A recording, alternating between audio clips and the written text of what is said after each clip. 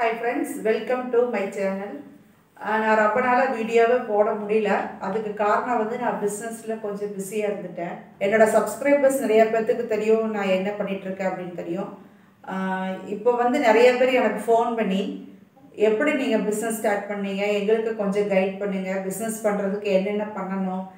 என்னென்ன சர்டிஃபிகேட்ஸ் வேணும்? என்ன மாதிரி பிஸ்னஸ் பண்ணலாம்?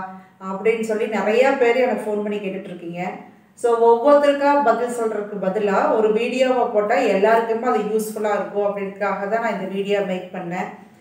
இந்த ப்ளவுஸ் கட்டிங் வீடியோ இதெல்லாம் போட்டுட்டு இருந்தேன். பட் எனக்கு அதுக்கு சுத்தமாகவே எனக்கு இப்போ டைம் இல்லை.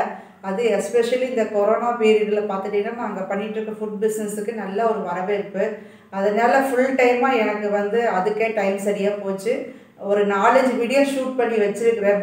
Blouse cutting and stitching video அப்புறம் சுடிதார் கட்டிங்கு ஃப்ராக்கு இதெல்லாமே நான் வந்து ஷூட்டிங் பண்ணி வச்சுருக்கேன். பட் எனக்கு வந்து எடிட்டிங் பண்ணுறதுக்கும் அப்லோடு பண்ணுறதுக்கு சுத்தமாகவே டைம் இல்லை.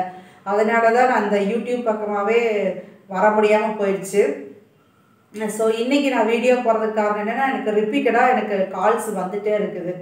அதனால தான் சரி ஒரு வீடியோவே போட்டுடலாம் அப்படின்றக்காக அது வெயிட் பண்ணியிருக்கேன்.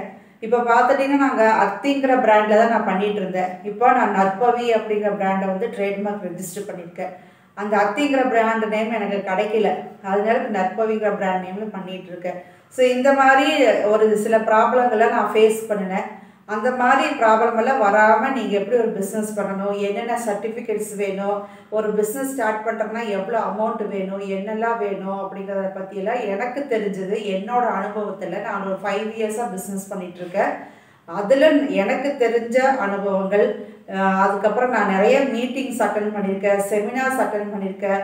நிறைய காலேஜஸ்க்கெலாம் நான் போய் வந்து கெஸ்ட் லெக்சராக போய் என்னோட அனுபவங்களை ஷேர் பண்ணியிருக்கிறேன்.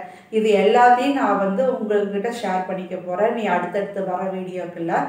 அது பாருங்கள் கண்டிப்பாக உங்களுக்கு யூஸ்ஃபுல்லாக இருக்கும்.